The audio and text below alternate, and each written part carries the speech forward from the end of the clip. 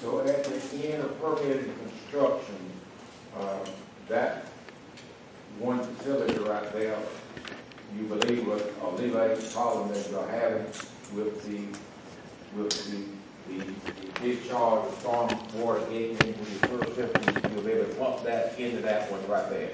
If we get storm water into the system, which those projects that we talked about earlier, rehab, the pipe repair, those projects are designed to keep that stormwater from getting into the system anyway, to, to begin with. But if- if the stormwater does get into the system, this time, this, this structure is gonna be able to allow us to hold it until we can process. That was, that my question.